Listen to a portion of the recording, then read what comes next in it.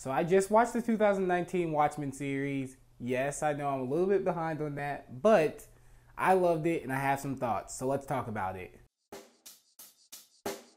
Check the mic and make sure it sound right, boys.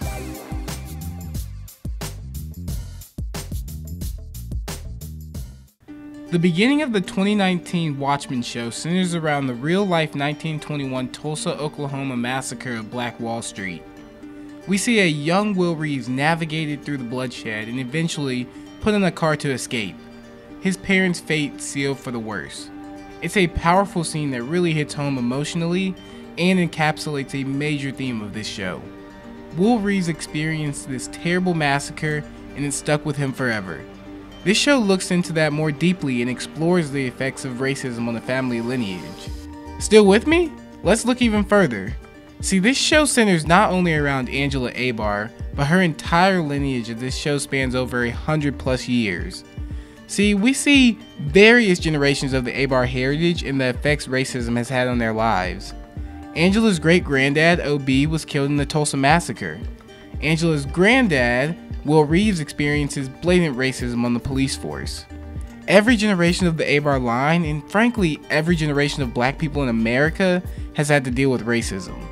The interesting part is how this show shows how Angela and her descendants all decide to navigate racism differently, and they're all left with burdens that affect their future line.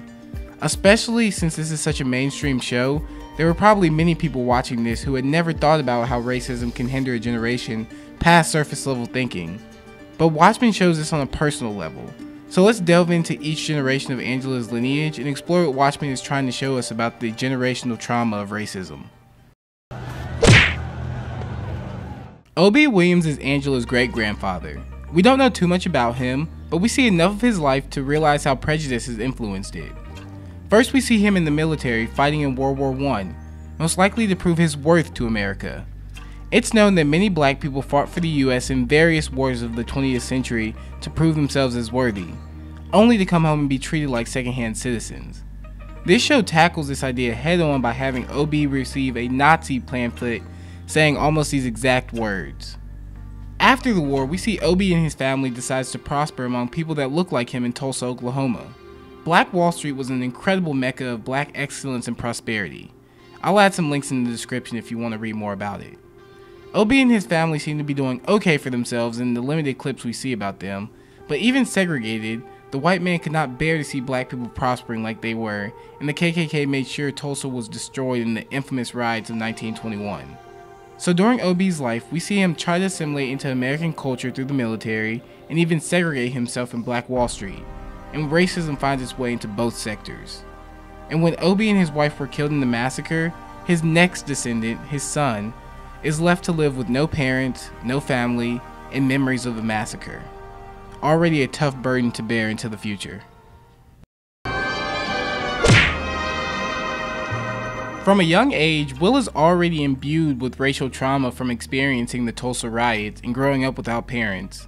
Will tries combating his racial trauma by fighting it, literally. After realizing how corrupt the police force is, even almost being hanged by fellow officers, he takes matters into his own hands by becoming the vigilante hooded justice. He puts white makeup around his eyes to hide his black skin, and he lets all the anger of his past and present out by beating criminals to a pulp. While he does do some good for citizens, Will is a vigilante for himself and it consumes him. And no matter how hard he tries, either being a legit officer of the law or in the gray as a vigilante, he can't capture the white supremacist group known as Cyclops. In his journey, we see him try to attack racism head on, but he can never defeat it. And the burden he places on himself being hooded justice distorts him to a point where his wife and son leave him. Now his young son will grow up without a father, fearing what a mask can do to a person. So once again, this lineage is heavily impacted by racism and is stagnant in generational progress. We get the least amount of screen time and information on Angela's dad, Marcus Abar, so a lot of this will be my interpretation of the character. We see he is a military soldier stationed in Vietnam who has an estranged relationship with both his parents and never mentions them to young Angela. Angela's dad is interesting because we don't see directly how racism plays into his life like his grandfather and father's stories. but he is still indirectly scarred from the racial traumas of his descendants. He wants no business fighting racism and letting it consume him like his father. So he enlists in the military similar to his grandfather, trying to prove his worth on the battlefield and not with a mask like his dad. I'm not sure he had too much of a choice being stationed in Vietnam, but it is a way to start over away from the racial trauma that broke his family as a child in the States. However, being in Vietnam turns from a fresh start to a tragic ending after Marcus and his wife are killed in a terrorist bombing. This is still indirectly tied to the trauma of his past because if the situation with his father was better, maybe he may have never joined the military and been in Vietnam. Now, young Angela has to grow up without parents in a different country, with no connections to her past, money, property, or anything. The one who was supposed to continue the Abar name starts with nothing.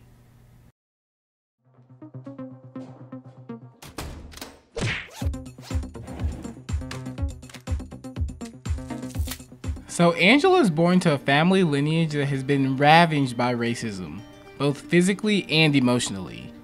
Angela's dad intentionally disconnected their immediate family from their past, and Angela chooses to navigate her family's racial trauma by not inquiring anything about her past. Between her parents tragically dying, the accident with her husband, wink wink, and dealing with 21st century racism in the 7th Cavalry, Angela wants no business with a past that will only bring her more trauma. Angela knows that she's from Tulsa and that's it. But is that okay? And as the story explores very well, what does it mean to not know your past and how does it affect your present? See, Angela is angry. She's angry because of the White Night. She's angry about the 7th Cavalry. And she carries the anger from her past too. Not having parents, not knowing her grandparents, just not having family in general. So as Angela explores more about her past through the nostalgia pills, she finally gets to meet her grandparents and great grandparents. She experiences all the hardships they went through, and for the first time, she knows where she comes from and who her family is. After learning about her past, knowing the past allows her to come to finally understand her anger and break free from hiding behind a mask. Because as Will Reeves says, You can't heal under a mask, Angela.